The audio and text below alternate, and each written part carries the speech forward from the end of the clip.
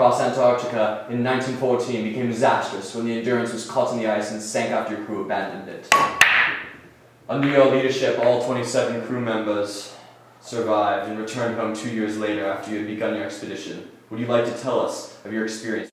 Of course. I'll start when circumstances forced me to separate my crew. One to leave on the James Caird for help, and one to stay behind. Mr. Shackleton, your shot. Thank you. I had to pick five crew members to come with me, and uh, based on my knowledge of each crew member, I chose the five that would help us the most. Who did you pick? I picked Worsley, McCreen, Vincent, McNeish, and Crean. Worsley was obvious. He was our sole navigator. Crean was a tough, seasoned sailor who was always obedient. And of course, McNeish was adept in repairing our boat, so he was invaluable. Vincent was a strong man, and McCarthy was an experienced seaman. What were your goals? We wanted to reach either Cape Horn or an island of Tierra del Fuego, or Port Stanley uh, of the Falkland Islands, or a settlement in South Georgia, which is slightly southeast of Port Stanley. So, uh, tell me about your journey before. Of course, we had 27 people on our ship when we started the journey. And what happened was your turn. Happened was we were sailing and everything was going fine. And then we reached Antarctica, and the ice closed up around us. We finally realized we had abandoned the ship. Then what happened? Well, why don't I show you?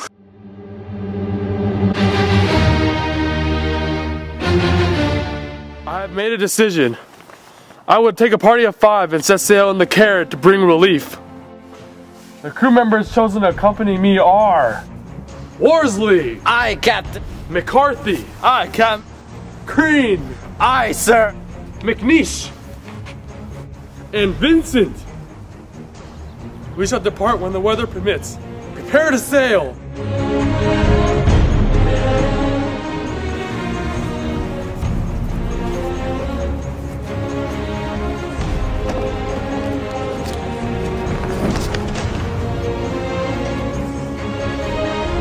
Let us be off. Don't get your feet wet, McCarthy. Worsley, don't eat too much when you reach civilization. Push! We're off! Good luck, boss.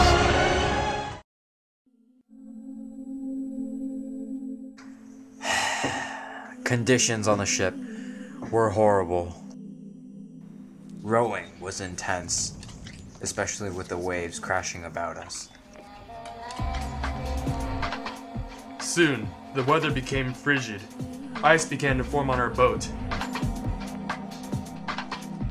Since water kept coming into our small vessel, we had to constantly bail out the boat. It was grueling work, and we were all exhausted.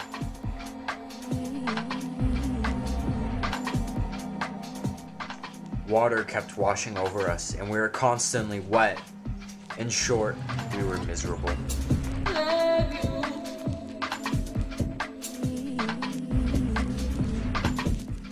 Secretly, we all dreaded the night. We feared washing up onto the islands, glaciers, or missing islands completely. Many of us could not fall asleep against the surf pounding against the boat.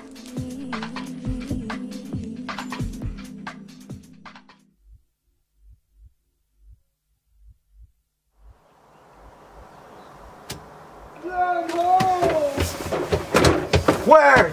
Word! Oh, oh my god, we made it! Oh, oh, oh,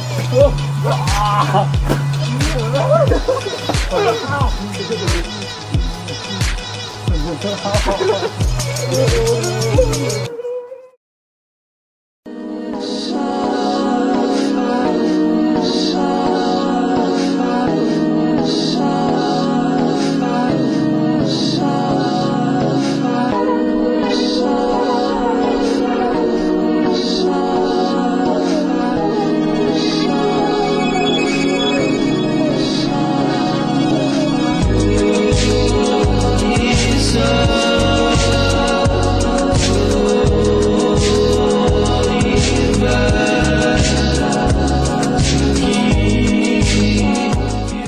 Circumstances forces us to land here, and now we must travel on foot to get to the other side to call for help. I have to choose two people to come with me over the mountain. And I've chosen Worsley. Yes, sir. And I've chosen Crean to accompany me. The rest of you three will have to stay here until we come back and help is coming. Vincent, McNeish, and McCarthy. You three will have to stay behind and look after the ship until we come back with food and help. Let us be off. Aye, aye, Captain. It was a long and dangerous road to Stromness Bay on the other side of the mountains. Vision was hazy at best, and we had to find our own road. We were running in sub-zero weather, knowing that if we stopped, we would freeze. It was a 29 mile straight line trek with 10,000 foot peaks blocking our way to civilization. I knew that no one had ever crossed South Georgia, yet I knew we would have to be the first in order to save the rest of the crew. Shackleton, Crean, and I began our journey at 2 a.m. when the moon illuminated the land. The hardest part was finding the right route to travel. We had no sleeping bags or tents, meaning we couldn't stop until we reached our destination.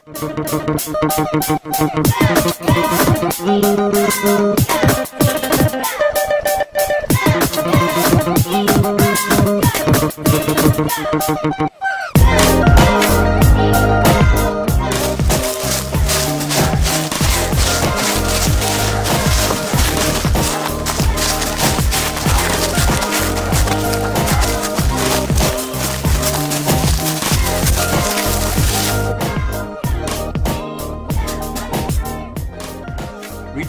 steps was frustrating, wasting valuable time and energy.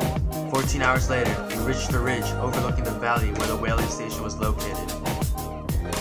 It was getting colder, and if we did not reach the valley soon, we would have froze.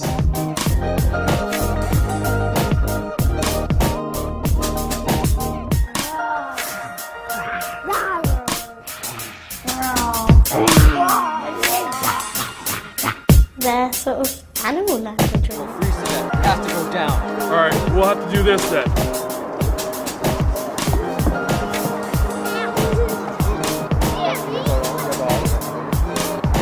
Okay, okay. Grab up, grab up, grab up, grab up. Ah!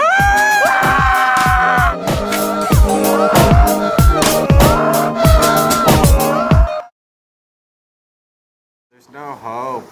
He's not coming. It's been three months. More than that, probably.